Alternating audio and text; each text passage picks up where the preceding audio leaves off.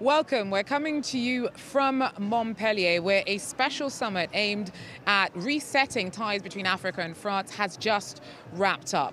A fresh start, a fresh approach, but clearly still some very old resentments. France's continued reliance on its post colonial ties can't be sidestepped quite so easily. But the summit, which gathered together a lot of young people from across Africa and France with not a head of state inside except for Macron, was supposed to signal a new start. But some feared that it was just window dressing for a relationship that continues to be as fraught as ever. Macron says, though, that he does believe that a shift is possible. We've not chosen our history or our geography, including the most tragic chapters, the responsibilities that we can't hide, and the clarity that we must have. We are the heirs of all of this.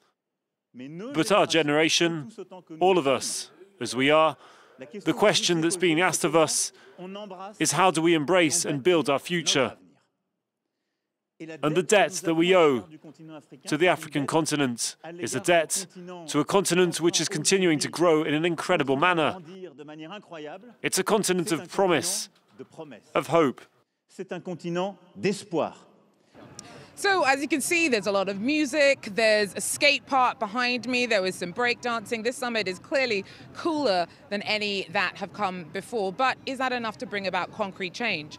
The summit culminated in a debate between 11 young people from across the continent focused on bringing about practical policy changes and bringing about a future that really, really embodies their hopes and President Macron. Now, Amina was one of those. Amina, um, how do you think that conversation went? I think it was an extremely intense conversation, but that was very much needed.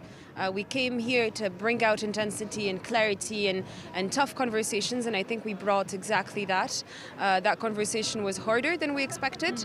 It was also much lighter than we expected. We had a laugh, uh, we had an emotional time, and we also went on to very deep topics. Uh, topics that I don't think were ever discussed in a summit before, and that's what the youth brings. It's some clarity to all of this. Yeah, it was really exhilarating to watch actually, because you were saying to me before that you guys really planned on, on calling Macron out. And from sitting in the audience, it really felt that like nobody was pulling any punches. But do you think that has any chance of actually bring about any kind of concrete change? To be honest with you, we wanted to show something new right now, and we wanted to make a point and show that this isn't just food for thought, but room for improvement. We really wanted to show that we were energetic and confident and strong enough to bring about change. So it will bring change. It already did. There is a symbol that happened today. There's something quite different that happened today. It was in the air, it was in the room, and I truly believe that right now nobody can deny it anymore. He can't deny it anymore. He said things, he actually committed to things that I'm really, really certain will happen. And if he doesn't try, we'll make sure he, he's reminded that we must do it. So. And so, what were some of those things? He was talking about the Fund for Democracy. That fund, if it's not led by civil societies, will mean nothing to us. That fund, if it is just one other fund that is close to development aid, will mean nothing to us. So we're expecting him to actually include us in the process, in decision making, in the way that we allocate budgets. We really actually want civil societies to be part of that process. Same thing goes for the Migration Forum.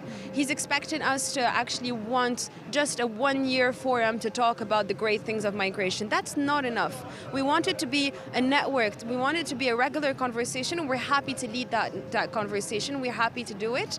He, he's just got to give us a go and we're ready to do that. And he's committed to other things. He's committed to actually changing the narrative and the symbols. And I actually do believe that he's truthful about that.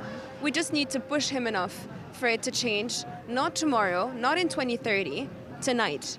Because he did really try to push over the fact that, that what he was saying is are his sincere beliefs. And actually, there was quite an emotional element to a lot of the conversations that were going on. Do you think that that is important in these kinds of conversations? Yes, it really is about the consideration that he's given us tonight. Uh, so far, I don't think civil societies and people have been uh, feeling considered in the conversation, have been part of the conversation. Too often, we are uh, just an object of conversation, very little actual member of that conversation, and he included us in that, and we forced him to include us in that. So that was a big change for us, and even more so, I really do feel that he was sincere, that I truly believe, but he somehow stayed in some parts in his role as president, and I don't think he wanted to do that. I really do think that he wanted to like, like my, my friend Sheikh said, dro- drop the jacket, drop the vest, be a person and actually talk about those things that link us as human beings. And I think that the conversation must continue for him to be able to do that with us. And you actually got, you guys actually had a conversation with him earlier on in the week on, Yeah, on. Tuesday. Um, if it's not going to put you in too much of a difficult position, do you think anything changed between that, that kind of pre-chat that you had and what you saw today? Yes, to be clear, the chat that we had was not for us to actually provide him with like hints of what we were going to tell him on Friday or to provide with like a plan of what we were doing on Friday. The truth of it all is that we just came there to introduce ourselves, which we didn't want to do in too much length on Friday today because we were not speaking for ourselves, we were speaking for 5,000 kids and more than that, an entire generation. So it wasn't about us. But on Tuesday, it was about getting to know us personally. And there was one thing, I think you remember that, that whole pot thing, you know, the marmite, the whole pot thing. That conversation arrived on Tuesday, and we had that conversation. Well, so, so maybe for those who ha- perhaps wa- wasn't forward following it, one of the speakers um, brought up this this metaphor of like a, a pot needing to be cleaned, Yes. and that kind of took ran away with a lot of the conversations. Yeah, yeah, yeah. And like on Tuesday, he actually went with the conversation too. So she brought about this idea of like a dirty pot. That dirty pot is our relationship, and the dirt in it is everything that has strained our relationship. All that heavy and painful past that exists between our our continent and France. And uh, on Tuesday, he said that he wasn't going to clean the pot. That we had to compose with a dirty pot, and that perhaps some healthy meals will come out of it. Tonight, he said he will clean the pot. I know this conversation sounds absurd, but in But a it's a metaphor. It's a massive metaphor, and more than that, it's a huge symbol. And it's a huge symbol of him actually listening, actually getting to understand that what you saw as emotionalism, what you saw as catharsis, was actually like an actual call out, like just a need to call him out and to make sure that we're on the same page. And with that, he showed us that we were actually on the same page. So we're quite happy about it. Uh, thanks so much, Amina. So I'm just going to stop you there um, because. Um, in considering the future of both France and Africa, things like the environment are issues that can't be ignored. And one of the issues that was also raised today was this call for ethical business practices. There are fears that multinationals will continue to ex- extract African resources and the continent will suffer from that. So we're now going to cross to a report from one of our correspondents in DR Congo about some of the impact of multinational operations there and the efforts on the ground to try and combat that.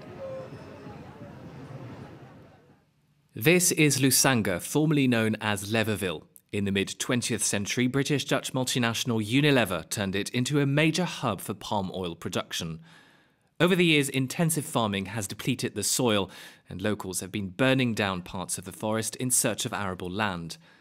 To stop this, a local NGO, Ocean, set up an agroforestry program in 2014. Since then, 20,000 trees have been planted amid cassava and vegetable crops. Agroforestry is the combination of trees with agriculture. Trees fertilize the soil, and as a result, farmers can use the land for much longer. Small scale agriculture is responsible for 90% of forest loss in DR Congo, but illegal logging is also rampant. In Kinshasa, Ocean and other NGOs have been fighting to get nine forest concessions cancelled. They were granted by the government to Chinese companies in violation of a 2002 moratorium. The case has been brought before the State Council. A key part of our advocacy work involves using the judicial system to challenge government decisions. When a decision is illegal, we have no other choice than to take legal action. Being a conservationist can be risky. In 2016, this man accused a top general in the Congolese army of illegal logging. His son was later kidnapped and was never seen again. It's very dangerous because when you speak out against people who make millions from illegal activities, you become a target. I've lost a child, but I'm defending a just cause and I will continue to defend it. The battle is growing increasingly urgent, according to a study by the University of Maryland. At the current pace of destruction, all of DRC's primary forests will have been cleared by the end of the century.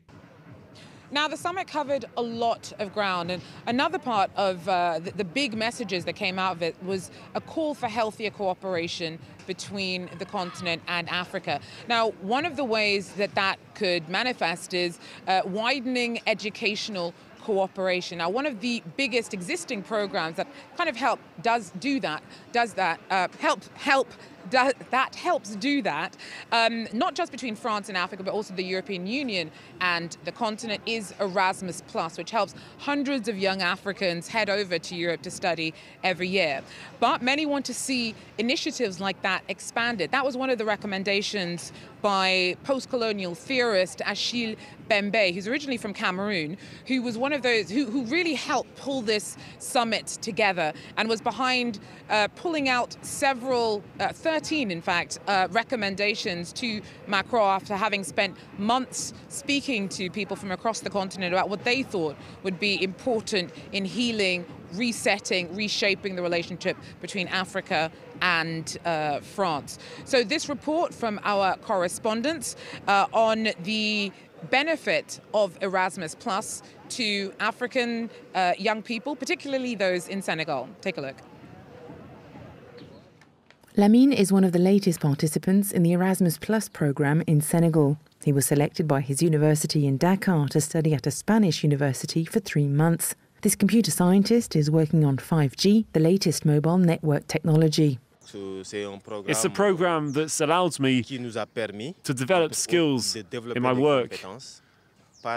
Within this postdoctoral fellowship program, I was able to study antenna measurements in depth I got to work in a well-equipped laboratory and met with experts in this field. Between 2017 and 2020, nearly 3,000 African students were enrolled in Erasmus+, including 215 Senegalese students. Through the program, students can obtain a European degree in addition to a degree from their home country. When you go abroad, you're bound to see something else, experience another way of doing things. So all these benefit students. Most of the students who benefit from this program would not have been able to go abroad if there was no Erasmus Plus. So it provides logistical support, which is extremely important. The Ministry of Higher Education welcomes the positive impact of Erasmus Plus but it wants the profiles of students sent to Europe to better meet the needs of the Senegalese job market. There is a risk that these students will be trained in fields where there are few opportunities in Senegal. For these programs to be successful, it is important that we are truly involved in a co-construction process so that these cooperation programs are useful for higher education, useful for our research, and useful for the development of our country. Erasmus Plus is also involved in improving the quality of African universities. The program helps to improve teaching facilities by financing capacity building programs, and in Dakar it supported the creation of an online research hub at the Polytechnic University.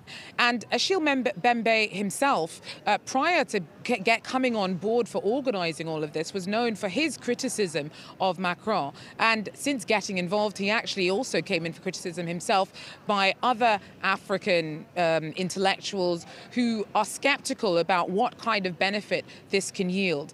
But Mbembe's really insisted that what this is is a step towards change and that the expectation shouldn't be any kind of overnight shift, but that any benefit that can come from this will be a long-term project. Euh, One summit isn't enough to change relations. Euh, but it's a first milestone in a very long process that is likely to last one or two generations. We need to involve entire societies to re-establish and to mend ties that have been damaged That way, we can start a new dynamic to face tomorrow's great challenges and debates.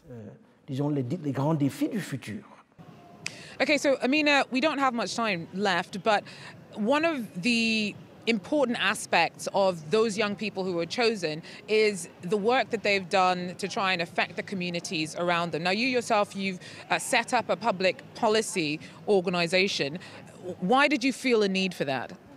honestly, it came about with the, the, frustration of not being part of the conversation and understanding, quite frankly, that the youth don't doesn't really understand and grasp the nature of public policy, how our cities work, what we do with our actual tourism policies, what our uh, realities are, and what are the rules that actually like administrate us every day. And I, I think that's unbearable, to be quite honest with you. And I think that's unbearable that we are not the agents of change with that. And so we created Je m'engage pour l'Afrique. I'm committed to Africa. Uh, you're from Morocco. Is it just about Morocco? No, absolutely not. It's a completely inclusive organization that uh, takes a full span of the entire African continent in relations to France, in relations to Europe. So far, we're very much attached to Western, Northern, and uh, Central Africa, but English-speaking countries are more than welcome to join into the conversation. What we do is basically we write public policy recommendations and we push as hard as we can for us to be heard by the decision makers and the policy makers. And so far, I mean, I think it's working. Well, thank you so much, Amina. It's amazing the work that you've done and how far you've gone to try and actually shape things rather than just observe them. Thank you all for joining us for this special edition of Eye on Africa, coming from Montpellier, the Africa France Summit. Take care. Join us again next time if you can.